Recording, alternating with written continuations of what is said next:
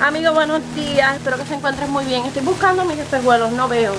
No los puedo mirar, no los veo. Voy a buscarlos Ok, encontré estos. No eran los que quería, pero Eso era aquí un momentito para hablar con ustedes.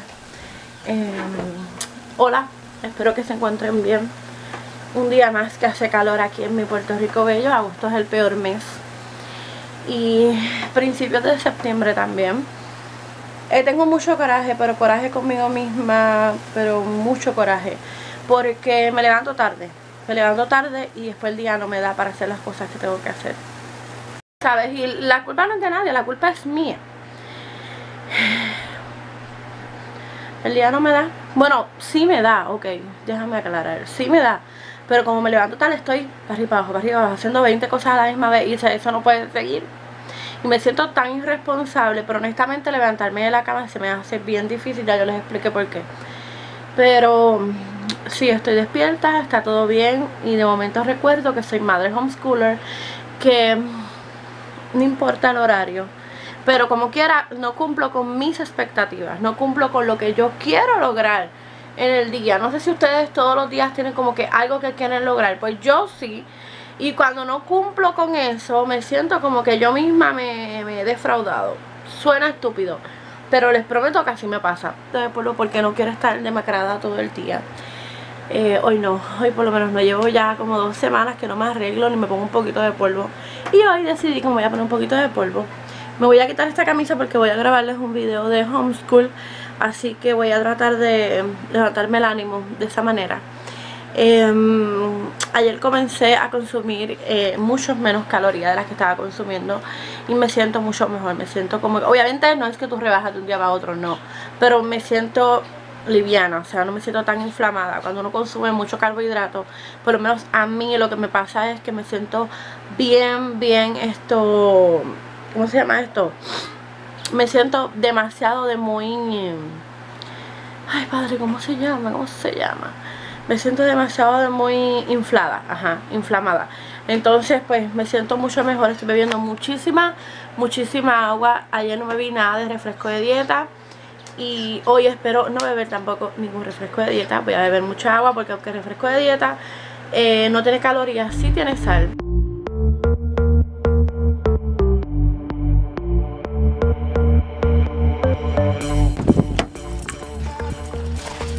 Ok, está aquí. Ni he usado las brochas nuevas hablando de maquillaje. Les iba a decir que yo compré estos iluminadores de Milani.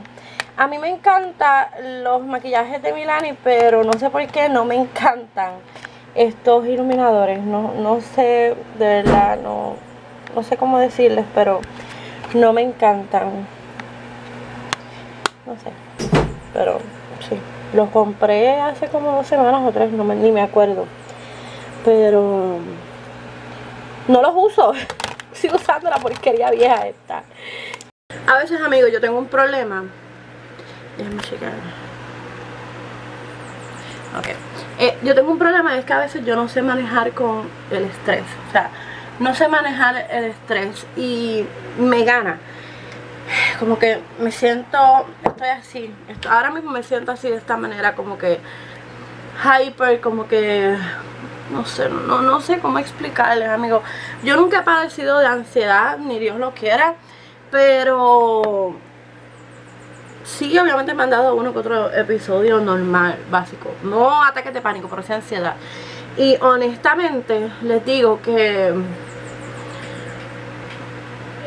cuando me pasa eso es, bien, bien, me molesta porque me pongo ansiosa, me pongo ansiosa porque sé que tengo muchas cosas que hacer y no sé manejar el que tengo muchas cosas que hacer y el que no he podido hacerlas todas o no he podido empezar. Y lo triste del caso es que no puedo echarle culpa a nadie porque la culpa, la culpa la culpa es mía. Esto, así que no sé, no sé. Nada, voy a voy a untarme un poquito de polvo. Como les dije, no, no es para taparme todas las imperfecciones, simplemente es para levantarme un poquito el ánimo para no sentirme tan, eh, no sé, tan síndrome de ama de casa, tú sabes. Que bueno, no es que yo llevaba tanto tiempo trabajando, pero honestamente pues cuando uno está en la casa uno tiende a pues, no a descuidarse, no, pero obviamente como no vas a salir tanto, o como no sales tanto y cuando sales a hacer tu diligencia o cositas así, pues como que no andas maquillada por la vida. Digo, yo, por lo menos estoy hablando de mí, no estoy hablando de ti. Más seguro tú te maquillas 24-7 y te gusta el bondo, pero a mí no me encanta el bondo, pero de vez en cuando el bondo ayuda a levantarte el ánimo. Entonces yo me voy a un poquito de bondo, a levantarme el ánimo, un poquito. Porque uno por la vida con esta cara de demacrada como que no era, como que no, como que, como que es too much, ¿verdad? Amigas, estoy usando este. Oh my god, me sorprendió. Me gustó mucho más que la que tenía. Son suavecitos, pero dura a la vez y como que no se te hace el trazo bien chévere.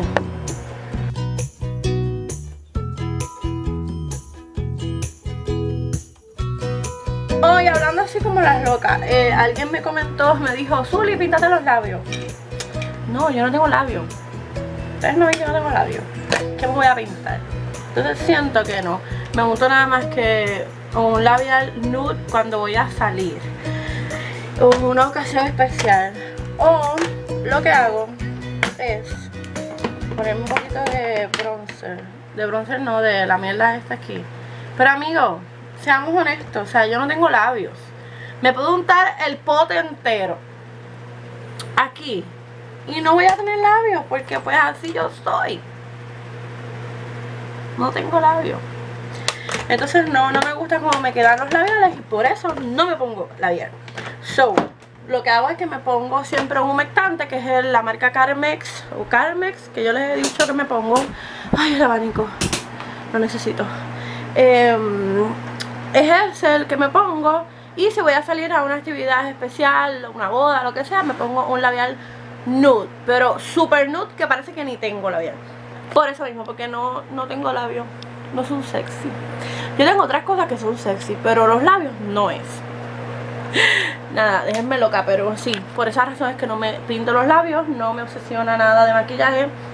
Pero sí, pues como no tengo cejas, pues me tengo que pintar las cejas.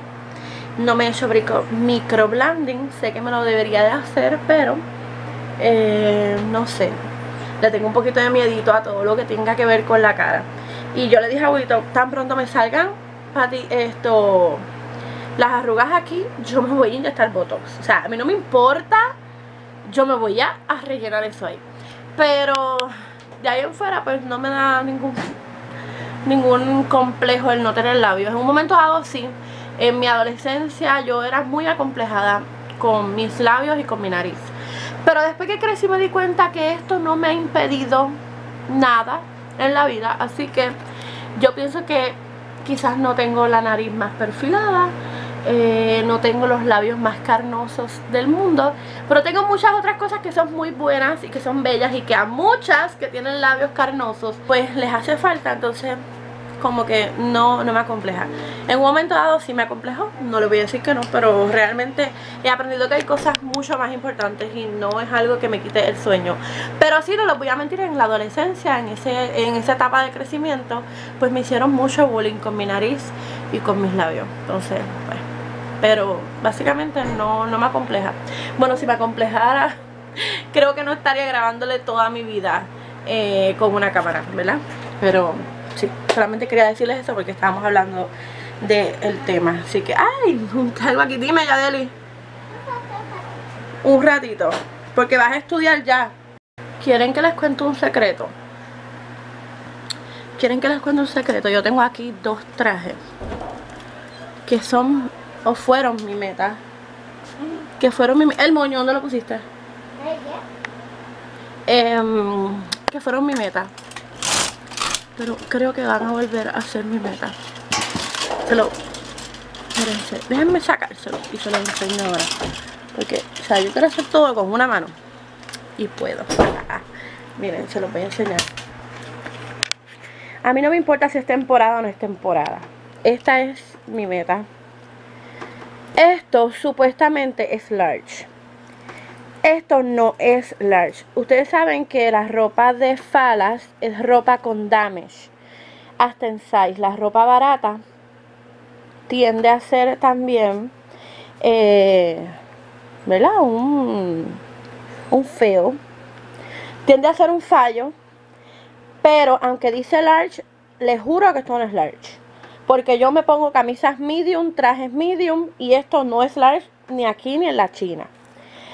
Me costó $7.99, lo compré hace tiempito. Es súper chiquito. Sí me entra, pero me queda súper apretado aquí. Pero una apretadera que no se ve bonito, no se ve bien. Y este me entra. Este me queda mucho más suelto. Pero no... ¿Este qué size es este? Este es medium. Este es medium y me costó $18.99. Sin embargo, aquel está más lindo que este. Este es de Kmart. Este sí me entra. Me queda más suelto. Pero esta parte de aquí me queda por acá arriba, los senos. Horrible, se me ve horrible. Esta es mi meta. El día que yo me pueda meter en este traje, que aunque el ticket dice large, esto no es large, tacho, jamás. Y de hecho el medium era como un small. Y el small era como un X small, una, una cosa ridícula. Porque los tuve en mis manos. Y me compré este porque me encantó. Y yo me lo voy a poner. Yo no sé en qué momento. Pero yo les prometo que yo me lo voy a poner. ¿Ustedes se acuerdan? ¿Ustedes se acuerdan cuando yo empecé mi meta de bajar de peso? Que yo les enseñé esto mismo, una ropa. No me acuerdo cuál era. Y yo les dije que yo me las iba a poner y me las puse. Eh, y qué bueno que estamos aclarando puntos porque también estábamos, estaba leyendo unos comentarios que me estaban diciendo el blog que yo les digo que les muestro mi cinturita. Amigos, yo no tengo cinturita. Eso es como un clickbait. Es como decir, como que exagerando la cosa. No sé si usted me entiende. Yo no tengo cinturita, yo no soy flaca. Yo me considero a este punto, como les he dicho, que yo soy una persona llenita. Porque gordita y gordota ya estaba. Ahora yo me considero una persona llenita. No estoy flaca. Eh, uso tallas medium. Se los he enseñado, que mis camisas todas son medium. Les voy a dar un ejemplo de uno. Esto es size medium. Y de estos pantalones yo tenía y yo era size X large y 2X. Esa evidencia yo no se las he enseñado. Porque hasta cierto punto me da un poquito de vergüenza. Mi cuñada me vio el pantalón. Yo me lo pongo y todavía yo lo tengo aquí guardado. Me lo pongo y se me cae, amigo de tan gorda que yo estaba y tan desfigurada porque yo no estaba gorda, yo estaba desfigurada mi cuerpo totalmente. Y siempre mi meta fue que yo no voy a llegar a los 30 años con ese sobrepeso y hasta ahora lo he logrado, hasta ahora. Em, ¿Qué les puedo decir con esto? Yo no pretendo ser una muchacha que, que se vista de X-Mall. Nunca ha sido mi meta. Aunque yo fui delgada muchos años, toda mi niñez, mi adolescencia, mi juventud, yo fui bien flaca.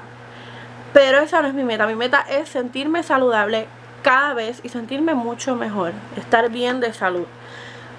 El video es una el tema del video es como una exageración para gente como ustedes, para gente como esta. O sea, no pretendo ser flaca, no lo voy a hacer, no soy flaca y lo dije. Yo no voy a ser flaca, no me interesa ser flaca. Yo lo que busco es un, una mejor, un mejor estilo de vida, sentirme mucho mejor.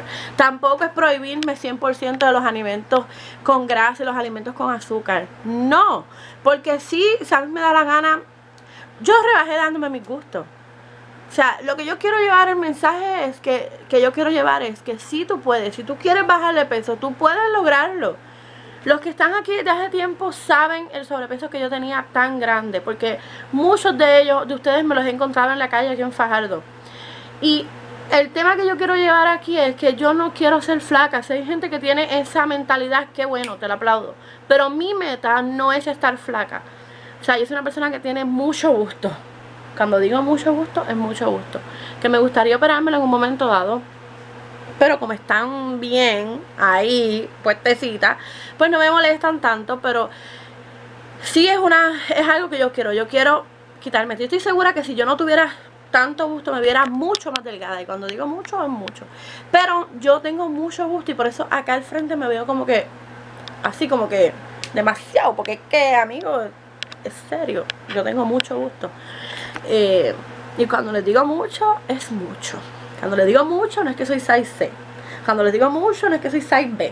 O sea, hay material ahí. Entonces, esto, entiendo que tampoco pudiera bajar muchísimo de peso porque yo no quiero que ellas lleguen a mis rodillas. Entonces, mi meta es sentirme bien. Sí quiero bajar unas libritas más, como les dije, pero sentirme a gusto, sentirme bien. No estar tan delgada porque tampoco quiero verme eh, con mucho aquí y bien plana abajo porque ustedes saben que yo no soy ancha de abajo. Yo no soy ancha de abajo, así que sí, esa es mi meta, es mi meta. Como les dije, yo no tengo ninguna cinturita. Es eh, una manera, eh, lo dije a forma de jocosidad, o sea, para reírnos. Y nada, nada. Usted coge lo bueno de los videos. No hay youtuber, no hay persona, no hay amistad perfecta. Usted coge lo bueno de los videos, lo que le sirve y lo que no. Piche y si quiere dejar un comentario eh, negativo, déjelo, que yo lo pongo, mira, lo fijo arriba para que todo el mundo lo vea. Y ya se acabó y y relajamos todo porque a mí un comentario negativo no me quita eh, el deseo ni el ánimo. Eso yo siempre se los he dicho y es la realidad. Yo, si usted me responde con amor, yo le voy a responder con amor. Si usted me escribe un comentario negativo, yo voy a ser igual de hiriente que usted. Totalmente. A mí no me importa. Aquí no se vale que si hay que ser buena youtuber. Me importa y me vale madre. Si usted me deja un comentario negativo, usted tiene que esperar que yo le voy a responder un comentario negativo. O depende de mi mood. Si ese día estoy amorosa, pues se lo respondo con mucho amor.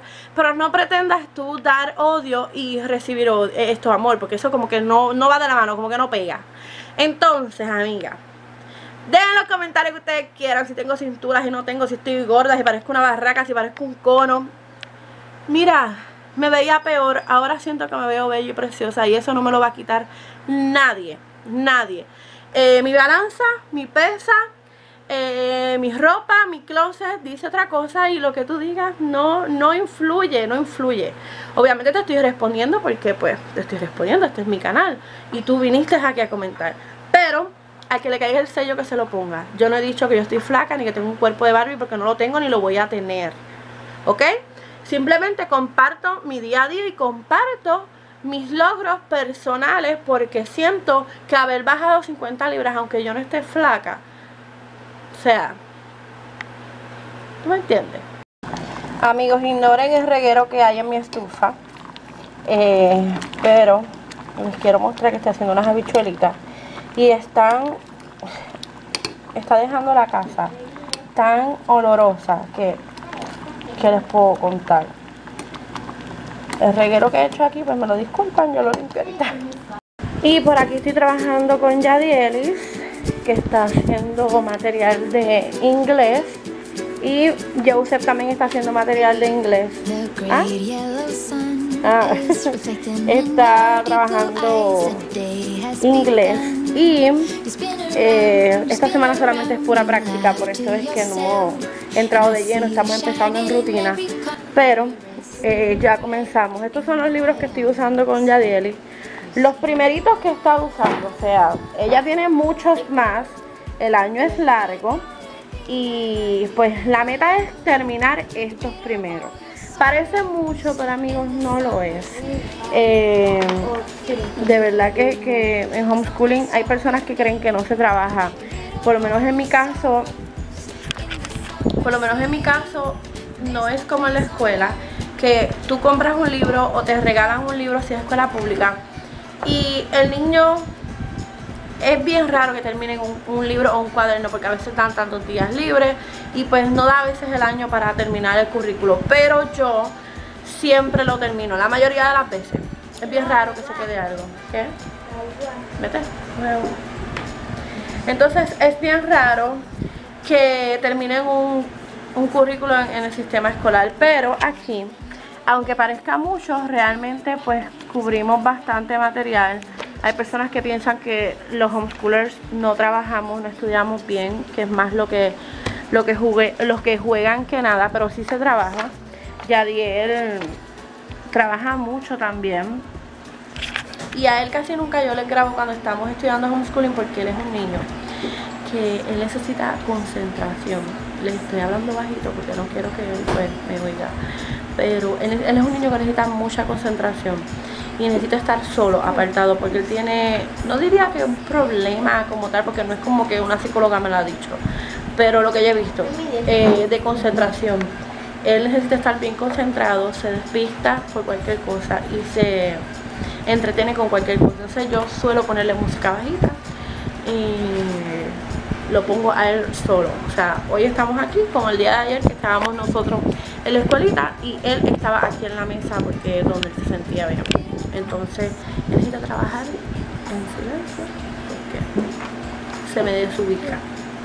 Así que estoy trabajando con Joseph aquí que está escribiendo unas palabras de spelling por aquí y son el mismo libro hay cosas que le doy en conjunto y hay otras que no.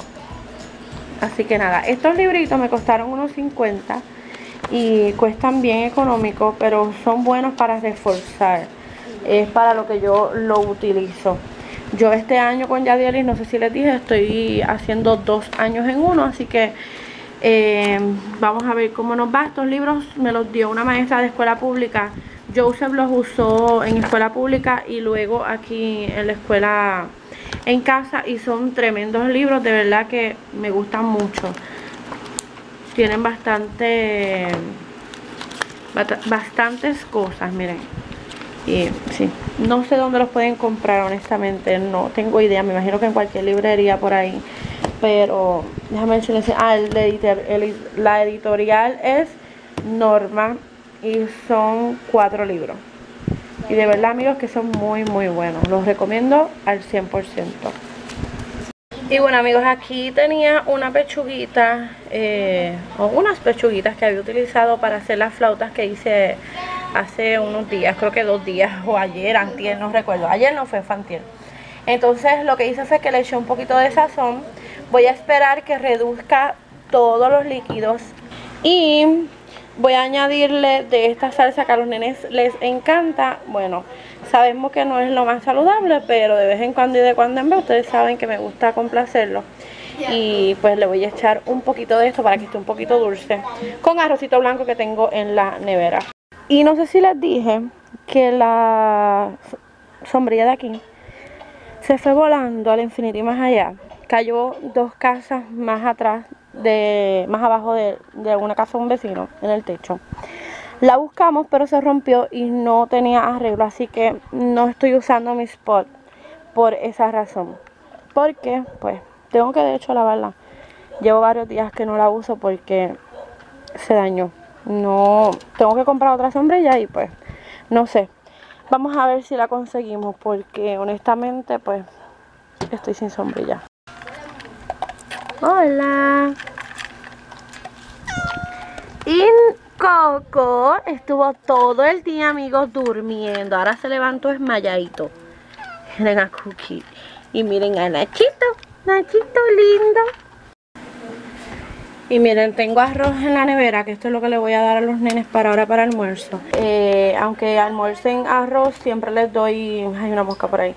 Siempre les doy de cena algo diferente y pues por eso no se me quejan. Pero eh, voy a hacer arroz, estoy haciendo arroz en esta arrocera que se llama Aroma, es buenísima amigos Esta es la pequeña, no cuesta barato de que cuesta 5 dólares o 10 dólares Pero vale la pena, yo quiero comprar la grande Aunque esta pequeña, aunque ustedes no crean Yo hago arroz amigos y lleno dos y medio de envases como esto. Y me funciona súper brutal. Así que quiero comprar la grande porque a veces pues quiero hacer más arroz y pues para que me quepa un poquito más cómodo. Pero si no tienes esta rosera de verdad que deberías considerar comprarla porque es súper súper buena. ¿Ah? Muy bien Joe, se ponlo ahí encima de la mesa cógete un receso. No de teléfono ni tablet. Y aquí está el poncho. Esperando que reduzca un poquito más. Y le voy a echar aceite extra virgen de oliva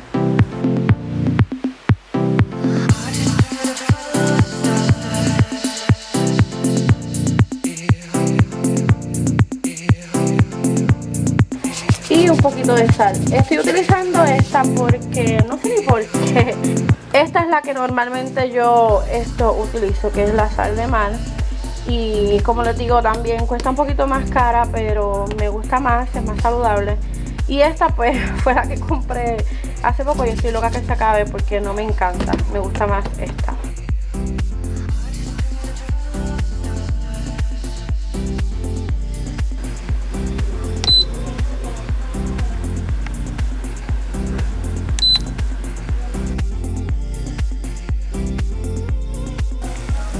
Redujo los líquidos, así que le voy a echar un poquito. Voy a ponerlo por aquí. Voy a moverlo. Y voy a moverlo simplemente.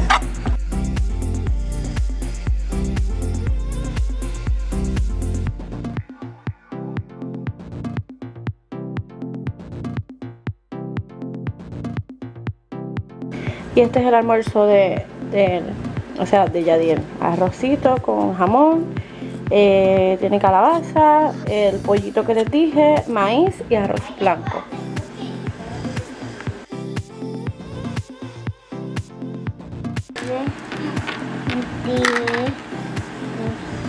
Once.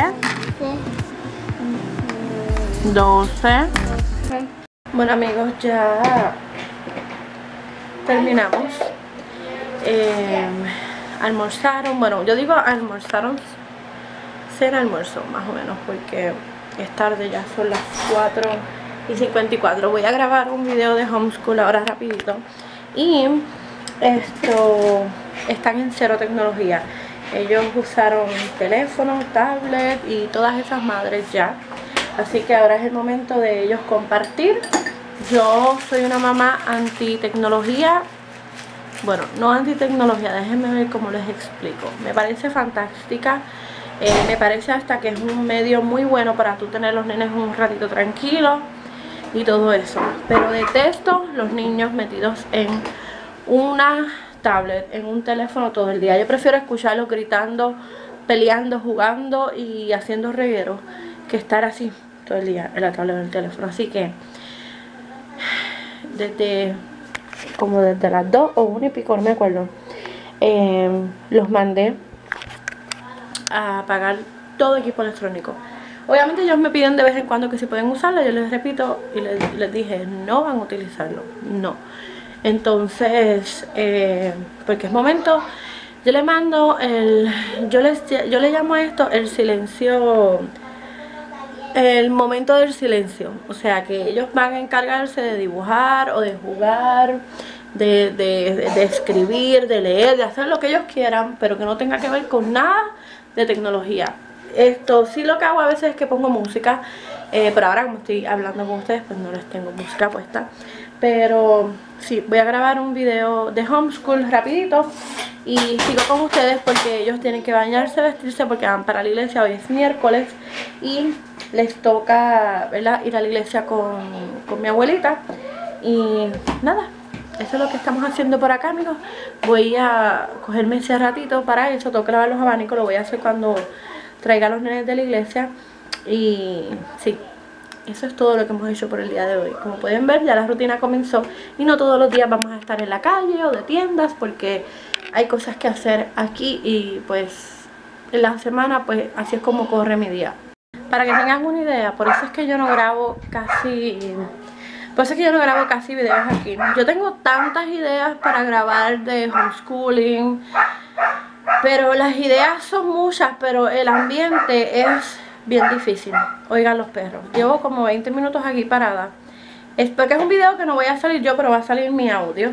Y tengo el micrófono. Y para colmo este micrófono coge todos los ruidos habidos y por haber. Entonces cada vez que prendo la cámara para grabar, empieza el perro a ladrar. Esto es increíble.